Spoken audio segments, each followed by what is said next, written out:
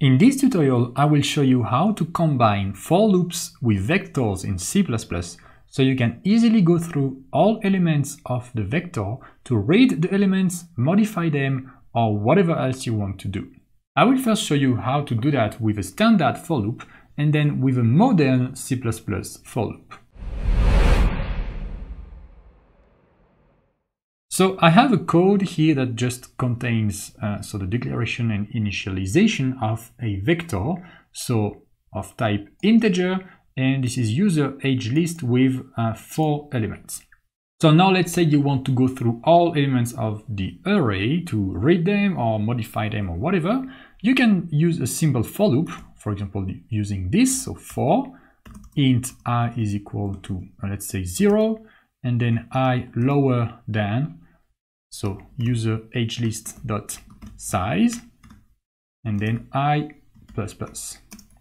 So what do we do here? We start at 0, why is that? Because, well, the first element actually of any array of index has the index 0. And then we go through all of the elements until we reach the size, okay? So here the size is gonna be 4, okay? So you have the index 0, 1, 2, 3. So for index 0, 1, 2, and 3, we're gonna stay in the for loop. When we get to the number 4, okay, with plus plus we increase uh, by 1 every time, so when we get to i is equal to 4, 4 is actually outside of uh, this list.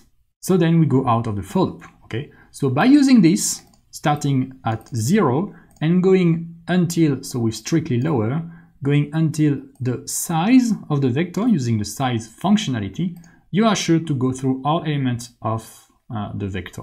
So now if you want to print each element, so I have already included IOStream here, as you can see, you can do std cout and let's say user age list dot at and then you simply i okay which is the index in the for loop um, and then let's do std end line let's run that and you can see we have all elements of the vector on a separate line now what you could do also let's say that so this is a user age list now let's say that one year has passed and everyone in uh, the list, of course, has one more year. So if you want to modify the elements, you can also do that. So for example, user age list at i, and you can just modify that as you would modify uh, outside of the for loop, okay? Just with at, but here instead of directly hard coding a number, you use uh, the index here. And let's do actually plus plus to increment by one. Okay, let's run uh, this again.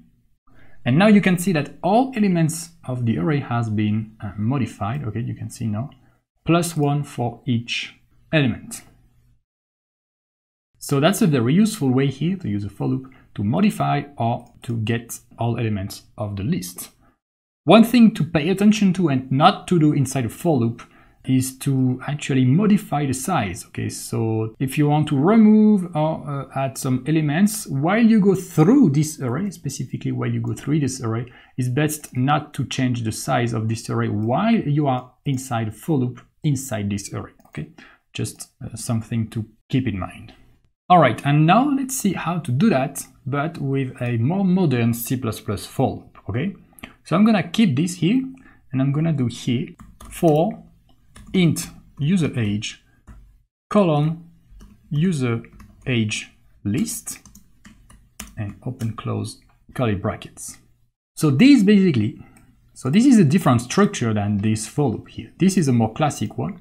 This is a very specific one to go through an array or specifically here a vector. So what you do is first on the left, you create a variable, okay, that is going to contain each element, okay, one by one here in uh, the curly bracket. Then you add colon and then the list. So what it's gonna do is first, for the first iteration of the for loop, it's gonna put the first element here inside the user age uh, variable that you can use here. Okay, after this, it's gonna put the second element, the third, the fourth, etc. until you go through all of the elements. So if you want to print the element, you can do std cout user age and then std end line. Okay, I'm just going to comment this here and just run that. Okay, you can see we go through each element of the array. And here you don't need to worry about uh, the counter, about the index, about whatever. You just have user age that you use every time. So it adds a bit more context okay, in the for loop, so it makes it more readable.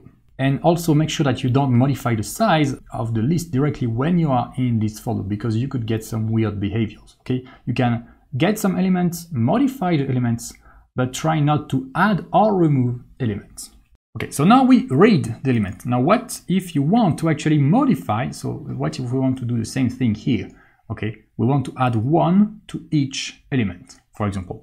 Well, here you could do a list dot add with the index. But now we don't have any index, we don't have anything. And the user age, well, we can't modify this variable, so what can we do? So if you want to make the elements uh, modifiable, what you can do is simply add here an ampersand okay, to make this as a reference of the element, okay? And when you make this as a reference to the element, you can do user age plus plus, for example, because you're gonna directly modify the element inside of the array. This is not just now a copy of the element, this is directly the reference to the element in the array. So let's run that, and now you can see we have plus one for each. And well, actually to show you in a better way because here we just modify the user age and print the user age. But let's say I'm gonna do this. So I'm gonna modify first each like this. So I'm gonna modify each element first in the first for loop and then with another for loop I'm gonna print uh, the elements. So let's run that. So you can see now, okay, we have the result plus one for each element. So in this for loop, we use the reference. In this for loop, we use a copy, okay? Because here we just want a read access. Here we want a write access. If you like this video, subscribe to get more tutorials like this in the future.